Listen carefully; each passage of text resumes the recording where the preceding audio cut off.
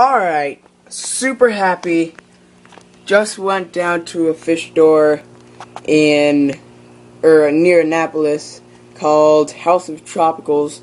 If you live in Maryland, near anywhere near Annapolis, no, Annapolis, uh, you should definitely go to this store. No questions. This is the best store I've ever been to. Uh, just went there, saw some small clown, clown loaches, big clown loaches, lots of cichlids. Uh, not many dwarf cichlids, but they did have rams and Apistogramma gazi. Been looking for the for these guys for like mm, two or three years, and they just happen to have them. And a rare thing at fish stores that even have male dwarf cichlids, if you can see her, is they had a lot of females too. So I got two females. Uh, just put them into the upstairs 10 gallon. I have no idea where the other female went. I think she might be in that pot. Whatever. So I got a trio of agazis. Nice tank set up. Little cave right there, Java moss above. Pot with some holes cut up on the top. Uh, it was pre-cut by someone, with the person who made it. Uh, definitely look for those because they're a lot better than what you could probably make. There's some Java moss down there. I got uh, Amazon sword, which is downstairs. Uh, Lutella or Lutila or something. Uh, either I'm not sure how to pronounce it. Uh, if you if you guys can help me out, I have my mom saw it and she was like, "Oh, let's get this plant. Let's get this plant." So, uh, I had to buy because she was buying them, and uh, so any information on this plant would be great. It looks amazing. This one section, you, I broke it off from a much larger plant. I have the rest downstairs, which will be featured in a later video. Uh, so yeah, Apistogramma gazi, amazingly awesome fish. This guy is kind of lazy because I just put him in and he's kind of shocked. But amazing fish, definitely get them. But make sure you have experience with fish. You have a nice setup tank that's been set up for maybe a month or two. Uh, water stable, low pH, definitely below seven, uh, 7.0, which is neutral. Uh, yeah. Oh, I found a store that uh, they sold duckweed, which is pretty uncommon because it's usually known as a weed because it's called duckweed. Anyway, uh, I've been looking for this plant for like a month or two and couldn't find it anywhere for sale, at least. Uh, it if you don't want it, like if you don't want it to cover the whole entire thing, you're gonna have to regularly remove it because I've read somewhere it's a really nice informational place. I think it was Tropical Fish magazine. Uh, these plant this plant can uh, if you have one, it can create a really large group in maybe a week or two. If you have a group like I do, so over there, uh, it can double in size in less than two days. So I'm about to go on a vac on a trip to Seattle, see my brother. Uh, and this, if you, I'm, when I get back, this is just gonna be covering the whole entire tank. Ridiculous. Maybe a, maybe a centimeter too thick. Possibly. Probably unlikely. Uh, so yeah, got a sponge filter running in here. Hagen, Hagen, something like that. Uh, I like these sponge filters. They just look cool. It's, yeah, they just look really cool.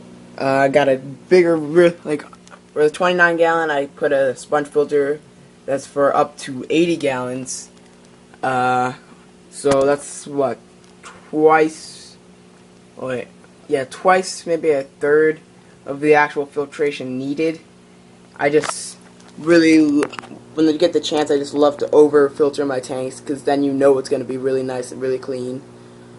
Basically, like having a uh, canister filter for a 55 gallon on a 10 gallon. Probably don't want to do that. The flow rate would kind of devastate your fish unless they're like hillstream loaches, maybe barbs or tetras from really fast streams. Uh, I'm not sure dwarf cichlids would like that very much, especially not rams. Uh, so, yeah. Flower pot, great. Not sure where the other female is. On Agazi tanks, uh, sand would be preferable. Uh, I'm working on a uh, website for pistos only called a, pist a pito tank. A real mistype of that. So A P I T O tank dot weebly dot com. Yeah, I don't really want to pay for a website. Uh, they're usually pretty lively. You want? I don't have any driftwood in here right now. I'm gonna get some small. I might get some small pieces. So driftwood, a lot of hiding places for breeding, and 10 gallon minimum if they're really small. Like they're all adults right now. The females are in breeding mood and everything. So if you if they're small enough and they're you know they're adults, you can put them in this a 10 gallon for a trio or a pair. Trio's kind of pushing it. Uh, make sure you have a lot of hiding spots. They fish just love to go inside the Java moss, especially my dwarf cichlids, because they just literally my uh, pair of kribs that used to be up here that weren't breeding for me, so I put them downstairs in a tank. Uh, uh, where I used to have cacatuoides, I think. Uh, so they love to just like sleep in the Java moss or something, because apparently it's a nice hiding place for them. That pot, they love it. Pots, you can cut a little hole out, crock it, flip it upside down. Uh, so yeah, that's about it for this video. Uh, I'm breeding them, so I have the heater set to 80, 82 degrees. Uh, yeah, I think that's about it. See you next time. Alright. 15 minutes after last uh, update. Like 15 minutes, I think. Uh, probably. Uh, my male Gazi really starting to color back up. I love how is this gold right there on his, the top of his dorsal fin. And the uh, caudal fin is a really nice bright orangish red. Though the ventral fin doesn't have that much color. It's kind of a gray. And uh, mine is crap. Uh, his face, his if you can you can definitely see that. It's like shiny blue and he has that black blue stripe down in the middle, if you can see it really. Right now, he's, like I said, a lot more active, swimming around the tank, more relaxed. And if you can see, oh no, she just left. The, I was right, the female, one of the females is indeed, in fact, in there, inside that little cave pot thing. Actually kind of cool. Uh, uh, gotta do everything quick. Here's a better shot of the female if I can get her. There's a lot of stuff behind here. The walls. Crap. Crap, I don't think I can get a good shot of her. There's a lot of algae covering this wall. But there she is, right there. Nice bright gold, yellow, black stripe. Still got some coloration in the tail, the red male. But not as colorful, or in one way not as colorful, but in another way more colorful because it's bright, you know, yellow. Uh, as that is what I got these and uh, uh or male or female apistogramma dwarf cichlids will look like when they're ready to breed. Bright, shiny yellow. It's usually when they after they laid their eggs, but in this case, it's just they're ready to breed. It looks amazing. The duckweed is coming back over here. Nutella hasn't changed a bit. What am I thinking? It's a plant. Doesn't change that fast. So yeah, they love that. Oh, I think she's coming around. Yes!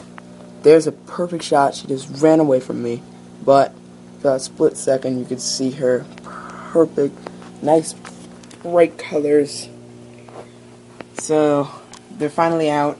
And like I said, you put them in your tank. They're really, they're gonna be really stressed unless you use unless you use the breather bags, which I just ordered a while ago. They should be coming today or tomorrow. They are fantastic. You just search them up; they'll tell you about it. TropicalFishMagazine.com. They are amazing. I love them. Or actually, I'm never try to chance to try, but I'm I'm pretty sure I'm gonna love them. Uh, all the details and information about them on where I told you to go. Female down there. Let's get a good shot of her. Oh well. So yeah, breather bag coming in. So I'm gonna get some fish from Seattle, bring them on.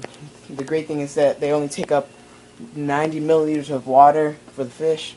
That's all they need. Great scientific stuff behind that. Uh, gonna get some fish when I go to Seattle. Uh, bring them in my carry-on, so like a little bit of water. Uh, won't get security won't get pissed at you. My tank is looking nice. I gotta put some more water in there. Do that later. Uh, maybe Friday. Uh, so Lutella, great plant again, or at least looks amazing. Only needs low light. Trying to get a good shot of the female that's in her in there, but she is defying my wanting to catch her on video. It's a male poking his head out. Uh, so yeah, this is a pretty nice setup. Got a lot of drop moss. Plants will keep it nice and clear. duckweed will fight the algae ridiculously. Um, yeah, that's about it. So, just film a little bit of the Agassiz. Maybe put some music on, radio. Probably gonna be a little bit of talking.